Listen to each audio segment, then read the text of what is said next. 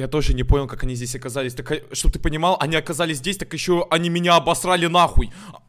Мне, мне сказали то, что я раньше был красивее, а сейчас я лохматое чудовище. Ну, возможно, это из-за того, что я час назад проснулся. Второе, Наташа сказала то, что у меня нет мамы, нахуй. Мама причем? Я не знаю! Я просто не понимаю, блядь. И третье, Я сказал, что у тебя два папы. еще второй отец появился, блядь. Нез- Незрачный